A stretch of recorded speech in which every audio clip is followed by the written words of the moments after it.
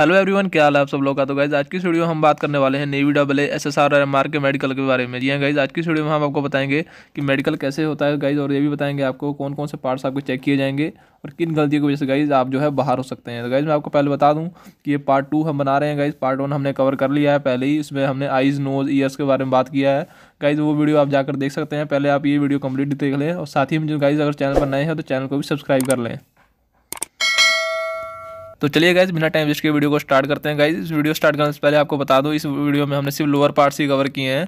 मतलब जो हमारे बिलो द हेड पार्ट्स हैं, उनको कवर किया है। तो गाइज़ सबसे पहले जो आपका जो चेक किया जाता है पार्ट वो है गाइज़ आपका चेस्ट जी है गाइज़ आपकी चेस्ट चेक की जाएगी।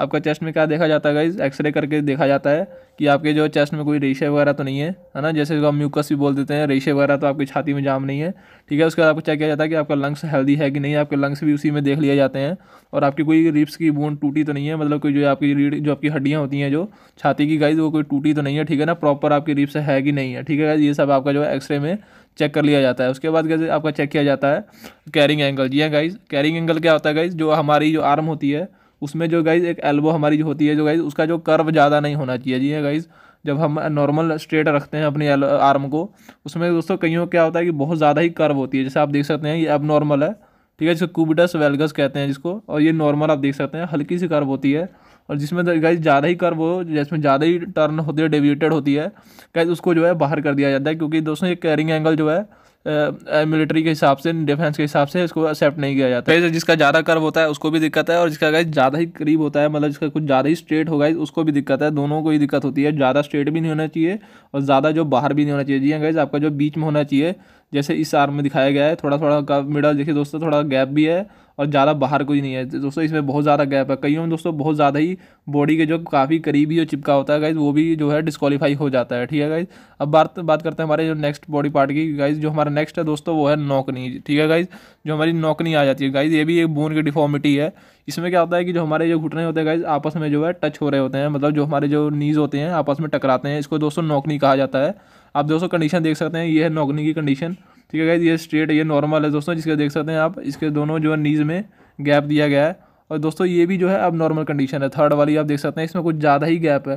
ठीक है जो ज़्यादा ही गैप हो जाता है दोस्तों, उसको हम कहते हैं बोल है ठीक है? जो ज़्यादा ही गैप होता है जिसके अंदर दोस्तों उसको हम कहते हैं बोलेक्स गाइज़ जिसको बोलेक्स है, उनको भी जो बाहर कर दिया जाता है, और जिनका नौकरी है, उनको भी बाहर कर दिया जाता है। गाइज़ ये आप जो है घर पर ठीक कर सकते हैं। इसमें आपको बहुत सारे यूट्यूब पर वीडियोज़ मिल जाएँगी, नौकरी या बोलेक कैसे ठीक करें, वो कुछ एक्सरसाइजेज होती हैं। अगर आप एक्सरसाइजेज कुछ कर लेते हैं तो आपका गाइज़ काफ़ी हद तक फ़र्क पड़ जाता है। ठीक है गाइज़ अब बात करते हैं हमारे नेक्स्ट बॉडी पार्ट की। गाइज़ जो हमारे नेक्स्ट बॉडी पार्ट है, दोस्तों, वो है हमारा फ्लैट फुट जी हाँ गाइज़ आप देख सकते हैं फ्लैट फुट कैसा होता है गाइज़ कईयों के जो है फ्लैट फुट क्या होता है, जो हमारे जो फुट होता है कईयों के जो नेचुरल आर्क नहीं दिखती है। जी हाँ गाइज़ जैसे हम पैर गीले करके चलते हैं तो उनके दोस्तों नेचुरल आर्क नहीं बनती। जैसे आप देख सकते हैं दोस्तों, ये इसका जो फुट देख सकते हैं, ऊपर वाले का, पूरा फुट दोस्तों जो हमारा फ्लोर है, दोस्तों, उसको पूरा टच कर रहा है, ठीक है? कहीं भी इसके जो है गैप नहीं है मतलब कहीं पे भी जो आर्क नहीं दिख रही है। और दोस्तों, आप दूसरा फ़ोटो देखेंगे तो इसमें दोस्तों आप देख सकते हैं कि ये एक आर्क दिख रही है सी टाइप की आर्क दिख रही है, इसके पैर के नीचे में। ठीक है इसमें क्या होता है कि जिनका फुट जो फ्लैट होता है, उनको जो दौड़ने में काफ़ी दिक्कत होती है, उनकी बॉडी काफ़ी पेन करती है, उनके लेग्स में हमेशा पेन रहता है, ठीक है? जिनका पैर जो है फ्लैट रहता है, ठीक है? और जिनमें आर आर्क रहती है गाइज़ उनको रनिंग में कोई दिक्कत नहीं होती है बैलेंस भी उनका अच्छा बनता है, ठीक है? तो गाइज़ इसलिए जो इनको बाहर कर दिया जाता है गाइज़ इसकी भी काफ़ी एक्सरसाइज की वीडियो मिल जाएँगी आपको यूट्यूब पर।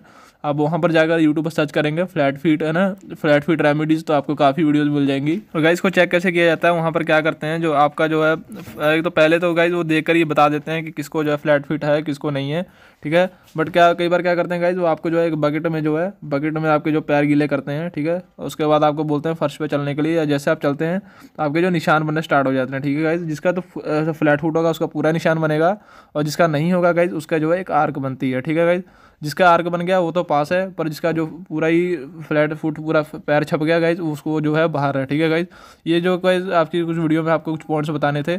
नेक्स्ट वीडियो में गाइज़ हम जो है प्राइवेट पार्ट्स को कवर करने वाले हैं। गाइज़ अगर आपका कोई इस वीडियो में डाउट रह जाता है तो आप मुझे कमेंट कर सकते हैं।